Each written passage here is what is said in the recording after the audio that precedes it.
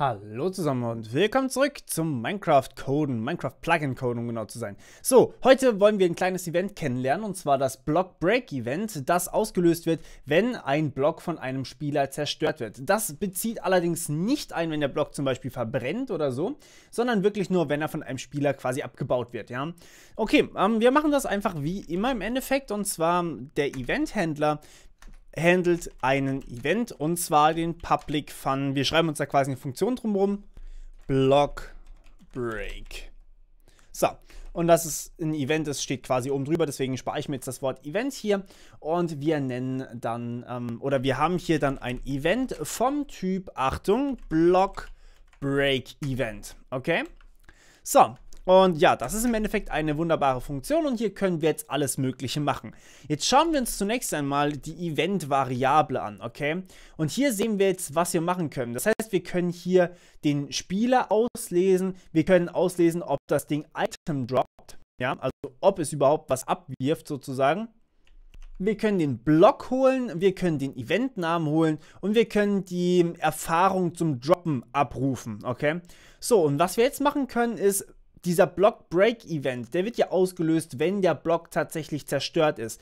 Der Block wird zerstört, den wir bei Block auslesen können, von diesem Spieler, den wir hier auslesen können. Das heißt, was wir als allererstes machen ist, wir holen uns den Player in, eine, in ein Value rein, val Player, Value Player ist gleich Event.Player und dann holen wir uns den Block ist gleich Event.Block, okay?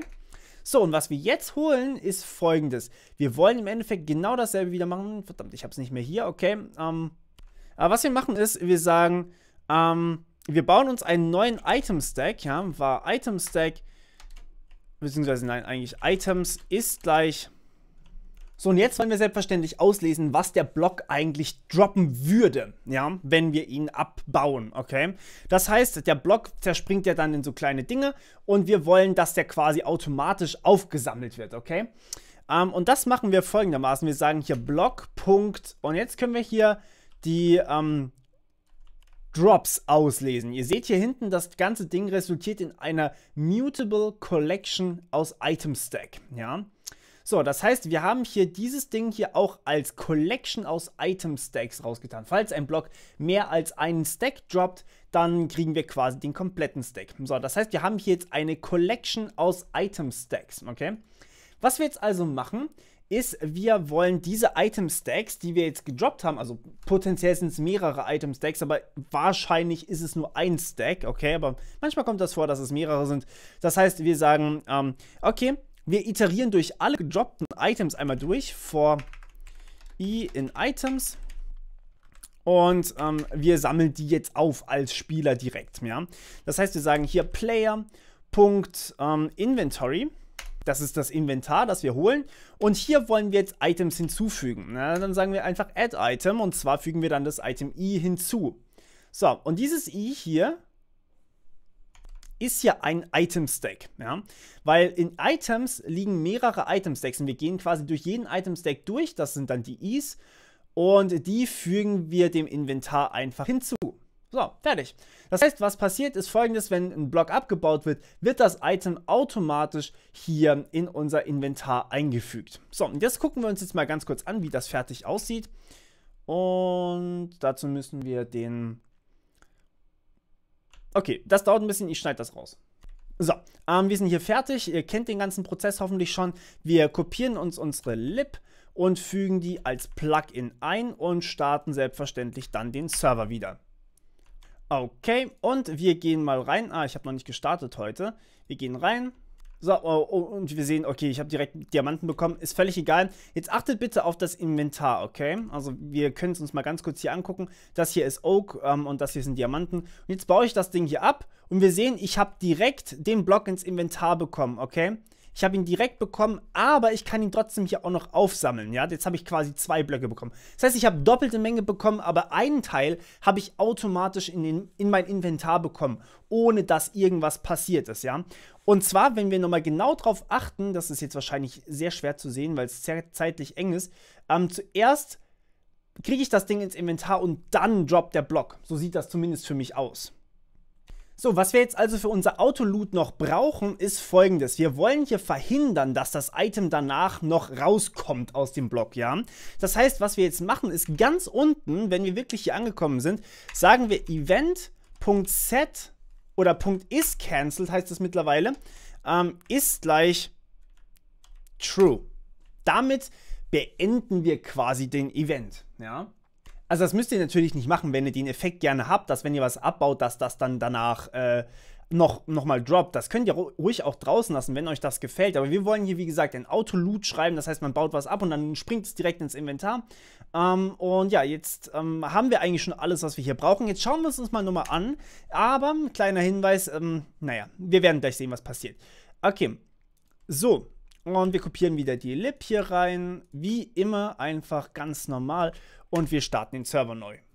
So, und was wir jetzt sehen, gleich, dass, ähm, naja, achtet auf mein Inventar bitte. Ich habe fünfmal Dreck, okay? Merkt euch einfach fünfmal Dreck, die sind wichtig. So, und jetzt bauen wir hier einmal den Dreck ab und wir sehen, ich habe sechsmal Dreck, aber der Block verschwindet nicht, ja?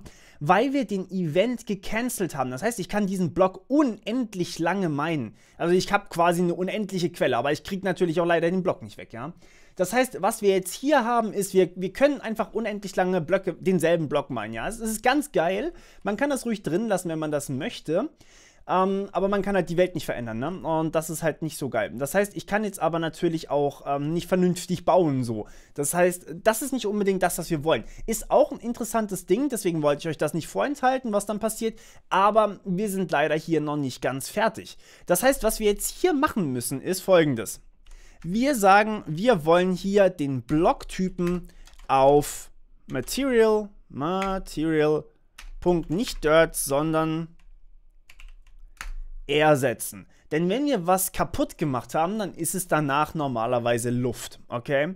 Und wenn wir das jetzt noch reinpacken, dann verhindern wir, also der Teil hier lootet uns erstmal das Ding automatisch ins Inventar. Alles, was der Block droppen würde, kommt bei uns ins Inventar. Der, äh, diese Zeile hier führt dazu, dass der Block auch wirklich gemeint wurde, ja. Und diese Zeile hier führt dazu, dass der Block dann nicht nochmal zusätzlich was droppt. Okay? Ja, und das ist sozusagen ein kleiner Workaround, damit wir dieses Auto-Loot-Plugin hier machen können. Und ähm, wir gucken uns das nochmal ganz kurz an. Ich starte mal ganz kurz den Server neu. So, da sind wir wieder. Jetzt fange ich hier mal einfach an, den Block zu meinen. Und wir sehen, ich hab, der Block hat nichts gedroppt. Ich habe 17 Dirt in meinem Inventar jetzt. Also jetzt nach dem Meinen. Und der Block verschwindet aber und es ist Luft. Okay? Ich kann auch durchlaufen. Und ich kann auch Sachen reinsetzen jetzt. Also das geht jetzt. Ähm, ich mache das nochmal kurz. Ihr seht, es hat funktioniert. Also das heißt, ich habe jetzt 17 danach in meinem Inventar, aber die, die Blöcke droppen quasi nichts mehr. Ich mache jetzt das mal mit einem Block, der weiter weg ist. Wir sehen, ich habe es ins Inventar bekommen, aber er hat auch nichts gedroppt. Also ich versuche es nochmal mit einem Block zu machen, der weiter weg ist. Wir nehmen jetzt mal den da hinten. Und wir sehen, ich habe es ins Inventar, er hat nichts gedroppt und wenn ich das Plugin nicht hätte, müsste ich jetzt natürlich hinlaufen und das aufsammeln. Das ist quasi mein Autoloot, ähm, relativ simpel, wirklich nur ein paar Zeilen Code an der Stelle. Danke äh, Kotlin, mit, mit Java wäre das deutlich länger geworden. Aber ja, ist relativ angenehm. Ich hoffe, es hat euch gefallen soweit und ihr habt neue Ideen bekommen, was ihr machen könnt. Wenn ihr Ideen habt, was ich noch machen kann, dann schreibt mir das ganz kurz und ja, dann schauen wir, ob wir das auch machen können. Am besten irgendwie wirklich konkrete Sachen sagen. Also wie mache ich das, wie mache ich, dass Code ausgeführt wird, wenn ein Block zerbricht zum Beispiel. Wirklich so konkret. Und ich versuche mir dann irgendwelche leichten Sachen zu überlegen, die man dann da eben auch draus machen kann. Gut, alles klar. Dann hören wir uns beim nächsten Mal wieder und ja, bis dahin viel Spaß beim Coden und bis dann. Ciao.